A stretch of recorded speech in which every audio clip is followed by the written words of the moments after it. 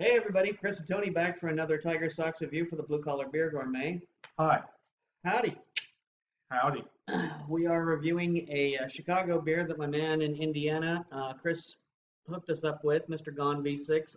If you want to check him out on um, Instagram, he is there and he does take great photos. He's actually got a nice little setup in his kitchen for taking good photos. Uh, but anyway, be that as it may, um, or rather, that's that's neither here nor there. Uh, the point being that he sent us a couple of Indiana beers and a couple of Chicago beers from Pipeworks. He's a generous guy. He is indeed. He is comes, indeed. He comes through with some good ones. hmm And uh, so today we're going to be reviewing one of the uh, Chicago selections that he sent our way. Good luck trying to read it. Lizard King It's a Pipeworks can. Brewing. Oh, there it is. It's right up top. Brewed in Oh. Chicago L. Yeah, I couldn't find I, it. I didn't see it either. I couldn't find it a second ago. Now it's like in clear writing. This is a pint can and it does have a 6.0 ABV. Windy City Beer.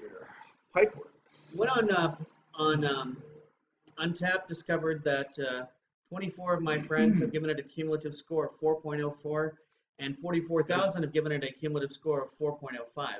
So when 44,000 people manage to, Get it you know, over get it over yeah. four, yeah, that, that, that speaks well of the That beer. says a lot. Yeah.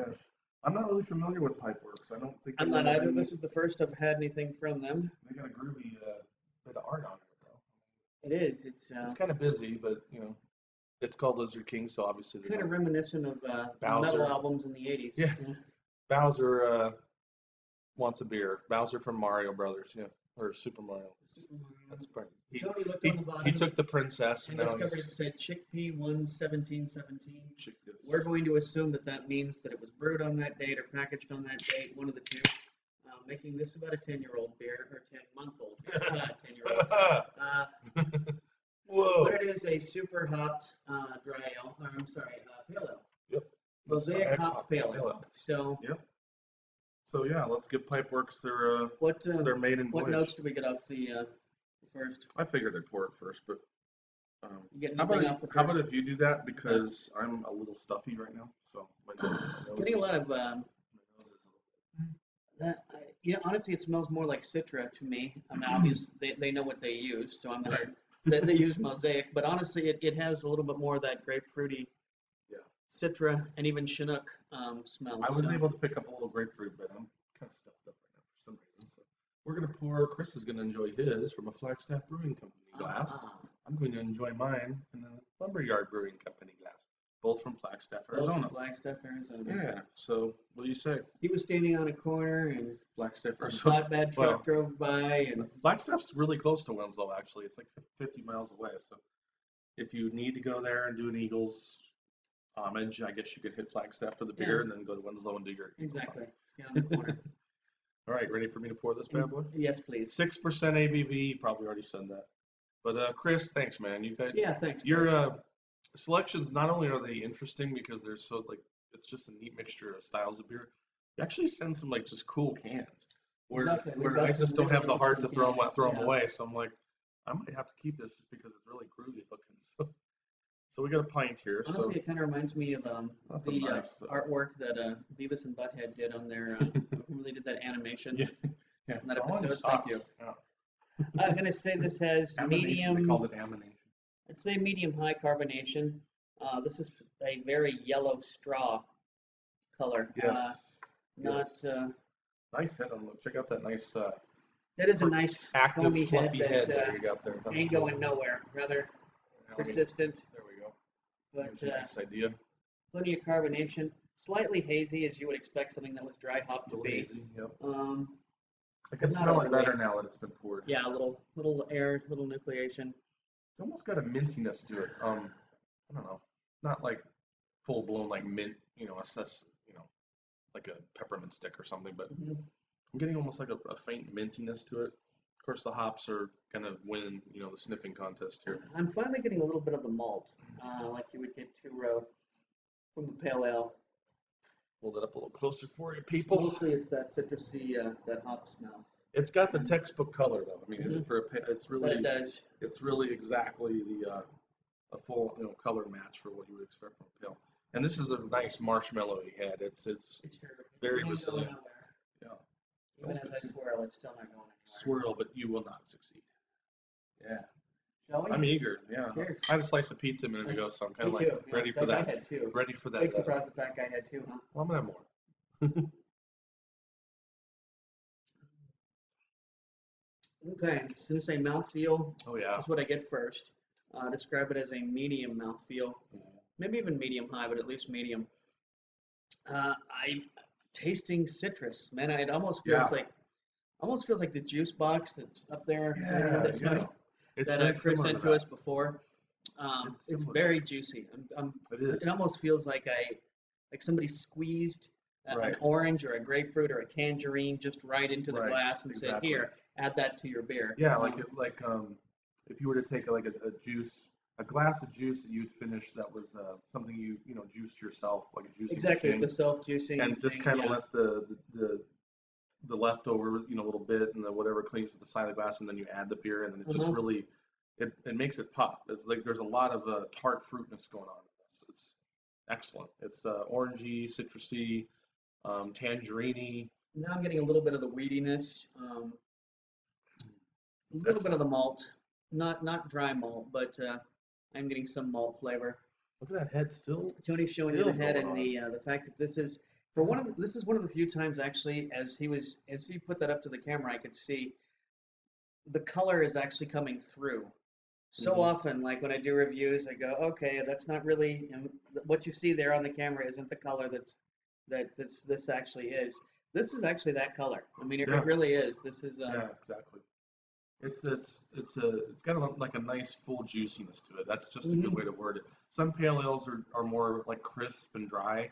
This one's not so much that. It's, it's- Sparkly. It's, right. Yeah. It's just it's more busy, but it's uh doing the right stuff. It's not busy for all the wrong reasons. It's effervescent and uh, I think if you're a pale ale Tasty. fan, you and you're in the Illinois area, definitely try this beer. and It's- for a 10 month old beer, I mean, Right. Right it on. def- definitely doesn't come across as like, oh, it's too old, it's becoming skunky. Mhm. No, nothing like that. But as far as a pale ale goes, it's it's a it's a damn it's good tasty and it's example. Yeah, yeah, exactly. I would definitely purchase this if I live, you know, again, this isn't a beer we can find in Vegas. Exactly. Um, so But if you're in Middle America, uh, Yeah. check that out because now I'm curious what other beers Pipeworks how's out there, you know? So- actually we will be trying a Pipeworks um, uh, beer. Not next one, the next uh, Tiger Sox, Next Tiger Sox will be a beer from 450 North Brewing, an actual uh, Hoosier beer. yes. But the beer Chris. after that will be um, a double IPA uh, from uh, from Pipeworks. Pipeworks, So uh, yeah, cool. What would you score this? um, I'm going to give this a 4.25. Yeah, it's it's worthy of something higher than four. I was gonna, well, I was gonna give it a four, but with it being in a can, I give it a four point two five. So I'd probably go four two five anyway. Um, on Untappd, it's it's Mhm. solid. It's all around solid. It's not the aftertaste is perfect. It's not like attack. It doesn't just ride on the back of your throat where you're just like you can't get rid of it, can't get rid of it.